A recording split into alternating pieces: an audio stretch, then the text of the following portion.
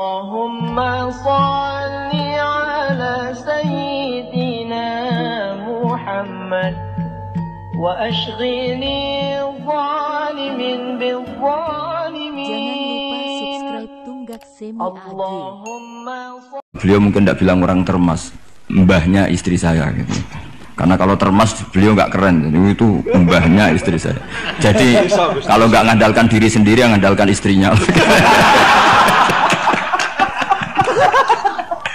Nah, itu nggak masalah. Seperti itu juga masalah. Allah itu baik.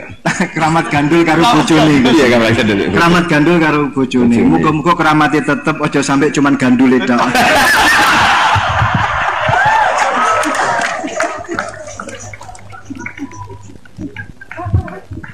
Jadi keramat seperti itu boleh, ngandalkan orang lain, istri, teman itu boleh.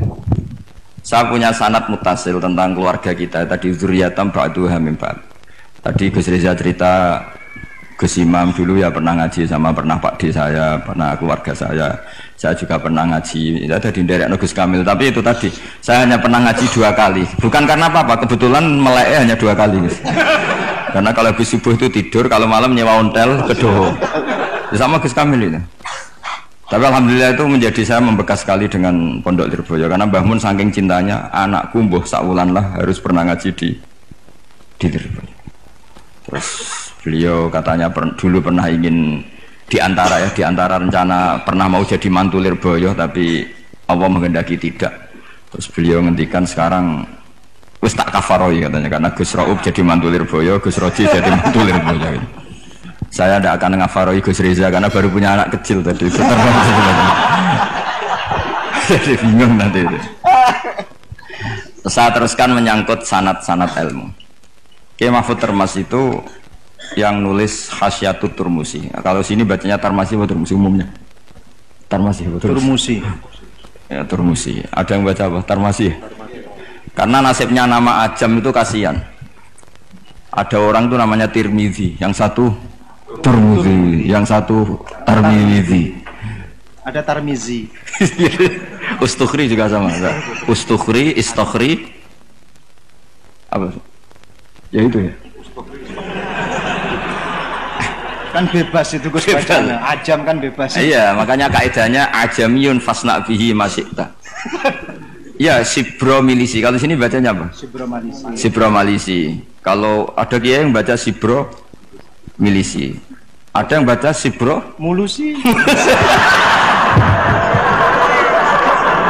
ini aslinya yang mancing ini Gus Baha bukan saya ini beliau ini Masya Allah luar biasa dalam pancingan-pancingan sehingga saya terpancing oleh beliau jadi nasibnya kumpul dengan orang yang alim ini ya jadinya ya seperti ini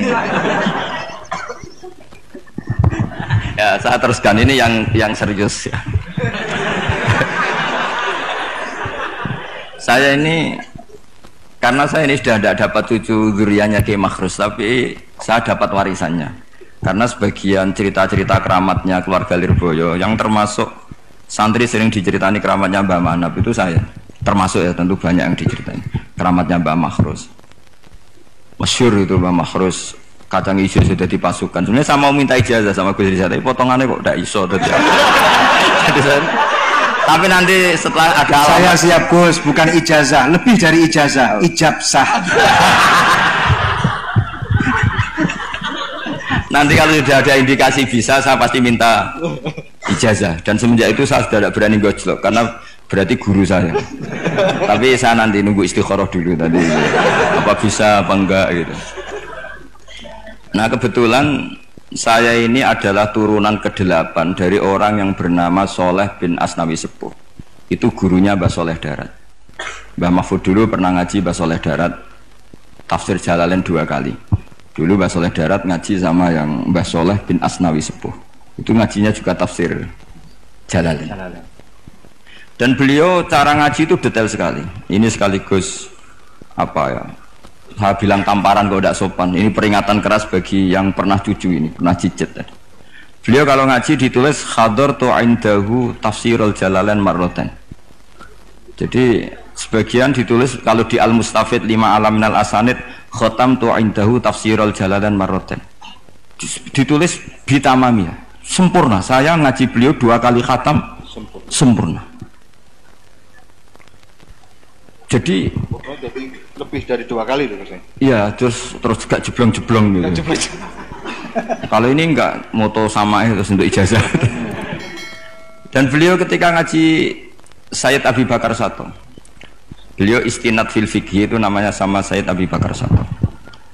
Itu beliau ngendikan saya ngaji Bukhari bab ini sampai ini yang nggak menangi ini. Kemudian ini tak tambal sendiri. Ini mbah-mbahnya istrinya siapa ini? Gus Iin ini temannya adik saya satu kelas tak tanya tadi. Lebih beling mana nggak tahu Gus katanya. Beling saya Gus. ya karena sekarang tawaduk meni lebih beling itu supaya dianggap wali karena tawaduk. Itu jadi nggak jelas sekarang sekarang. Makanya saya sering ngomong seenaknya itu karena gitu. Yang tawaduk pun tidak jaminan lebih sopan. Jadi tawaduk untuk diakui baik. Jadi repot. Ngeles itu gitu ya. ngeles ya. Khela khela ya. Mbak Mahfud itu ngaji lama sekali sama Syed Abi Bakar Soto. Sampai beliau kecakamannya saya ini tahadus bin nikmah kalau baca khasyatul turmusi itu nggak tahu bedanya dengan i'anatul tolibin saking persisnya ibaratnya Mbah Mahfud itu persis seperti malakah yang dipunyai Syed Abi Bakar Soto yaitu sahibul i'anah Nah Said Abi Bakar Sato itu punya kakak kandung sekaligus gurunya karena barep sama rujuk. Namanya Said Umar Sato. Said Umar Sato itu gurunya Mbah Ahmad bin Su'eb, mbahnya Mbah Mun. Jadi dulu Mbah Ahmad itu ngaji sama Said Umar Sato. Said Umar Sato itu di antara khas pengajarannya adalah hanya mau ngajar kitab yang bisa dihafalkan. Al-Mutun, sehingga meskipun nazuman atau matan dihafalkan. Makanya terus ada muhafadah di Indonesia karena sanad dari Said Umar itu santri harus menghafalkan. Yang menjadi beda dan masalah itu era Gus Reza hafalan tuh untuk naik kelas. Dulu ndak hafalan tuh ya hafalan saja untuk jadi orang alim. Sekarang untuk naik kelas. Jika saya sering digojlok, saya ini masih hafal jurumia, hafal imriti, saya itu masih banyak hafalan. Itu sering digojlok sama teman-teman. Gus Bak dulu ngaji pasti gak setor. Buktinya apa? Hafalannya masih. Kalau kita jadi saya malah yang masih hafal malah dianggap satu kesalahan. Saya sampai sekarang masih hafal Alfia Jurumia, tapi malah disalahin sama temen. Pasti dulu gak setor. Buktinya masih kan. Nah yang bener yang lupa-lupa itu karena sudah disetor, setorkan. Memang bahasa setor itu salah. Wong ilmu kok di Setorkan. distorkan. Ya hilang makanya. Makanya saya kadang itu yang bener siapa gitu. Saya itu pembela santri bodoh saya berkali-kali bilang itu. Ternyata yang nggak hafal sama yang hafal itu pinter yang nggak hafal karena sudah di setorkan. Saya itu punya teman musyawarah muin. Saya dulu itu rois muin. Itu nggak pernah menang sama santri paling diem terus. Ketika tak tanya, kenapa kamu tidak jawab? Sakjane aku iso Gus, cuma tawaduk mbek jenengan. Monggo itu sampai sekarang dia jadi kiai. Tiap ada muskilat yang SMS saya, Gus ini dijawab. Sakjane aku lagi sakit tapi kepengen tawaduk.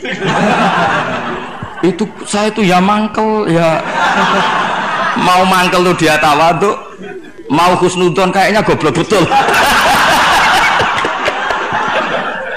Jadi saya nanti mau konsultasi sama Gus Iim Gus Riza, cara menghadapi kiai kayak itu gimana? Jadi mau dibenci itu tawadu, mau diyakini tawadu kayaknya memang ndak ndak bisa. Terus saya teruskan tentang Mbak Mahfud. Jadi guru-guru kita ini zuriatam ba'duha mim saya sampai sekarang ngaji di Pondok Damaran itu pondoknya generasi ke-7 8. Itu juga bah-bahnya keluarga mana? Gedungan ya Gedongan. ya dari nyai itu dulu itu luar biasa zaman itu sudah ngarang kitab jadi Mbak Raden Asnawi yang terkenal itu termasuk pendiri NU itu masih cicit dari Kiai Haji Asnawi Sepuh Kiai Asnawi Sepuh itu punya anak namanya Soleh itu gurunya Mbah Soleh Darat jadi ini, itu saya mbah ketujuh kalau gak delapan dari beliau jadi semua saya Gus Reza, Gus Gus di sini itu zuriatam ba'duha mim ba'd. Nah ciri zuriyah sing mardiyah indawa yang diridani Allah itu adalah karakter ajedatnya, karakter leluhurnya itu terjaga. Makanya Nabi Yusuf mengatakan wattaba'tu millata abai Ibrahim wa Ishaq wa Yaqub. Maka nalana an nusyrika billahi min syai. Saya ngikuti jejak leluhur-leluhur kami. Beliau menyebut mulai Ibrahim, Ishak, Yakub. Ciri utama leluhur itu adalah maka nalana an nusyrika billahi min syai. Saya tidak akan melakukan syirik kepada Allah.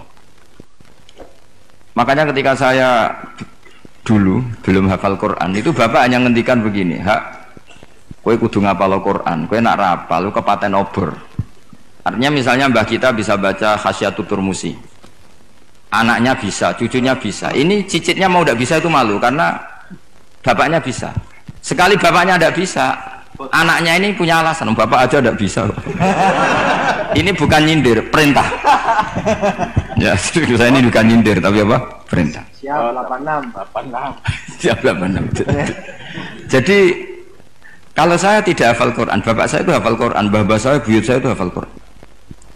Itu sekali saya tidak hafal, maka anak saya punya alasan tidak hafal karena bapaknya tidak hafal.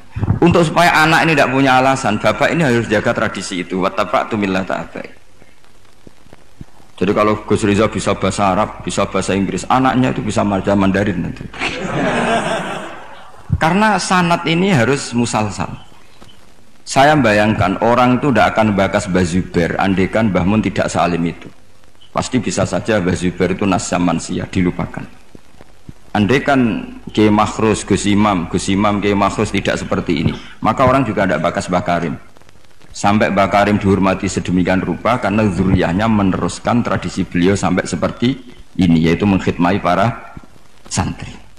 Sekali Gus Reza dagangan. Wis dagangan ya. Apalagi dagangan sarung BHS.